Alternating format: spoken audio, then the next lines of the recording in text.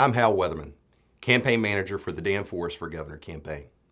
Last week, our opponent, Governor Cooper, sent out one of the most tasteless fundraising solicitations I have ever seen. He emailed out that he fell short $4,787 of his mid-month fundraising goal for his campaign, a campaign that has already raised more than $10 million. Governor, I understand you've got to raise money for your campaign, just like we do.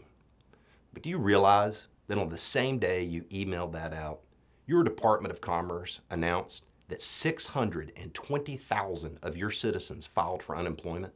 620,000 people, husbands, wives, blue collar, white collar, old, young, single, married, and all due to the executive orders you issued shutting down our economy. I promise you, they too fell short of their financial goals last week. Many of them missed their rent and mortgage payment. I'm sure many wondered how they were going to put food on the table or gas in their car. If they own their own business, now ordered to shut down by your executive order, the odds are they anguished over laying off their trusted and faithful employees, many of whom are like family to them. Many humbled themselves and went to a food bank for the first time in their lives.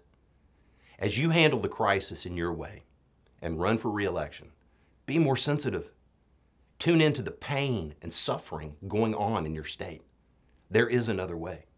I think you should know that immediately upon the COVID crisis hitting our state, my boss, your opponent, Lieutenant Governor Dan Forest, suspended all of his fundraising and ordered his entire statewide organization to identify people and businesses all over the state who needed immediate financial help.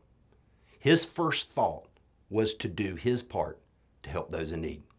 I personally want you to know that last week, when you were pressuring people to help you meet your political fundraising goals, your opponent gave targeted financial assistance directly from his campaign account, totaling nearly $200,000 to dozens of individuals and business owners around the state.